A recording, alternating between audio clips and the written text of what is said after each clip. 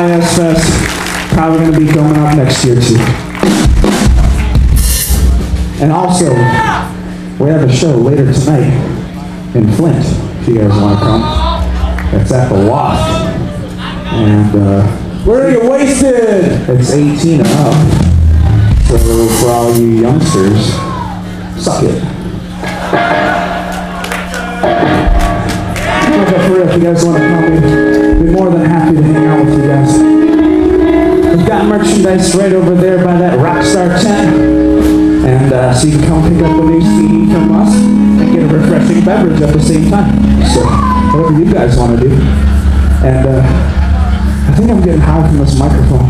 It's terrible.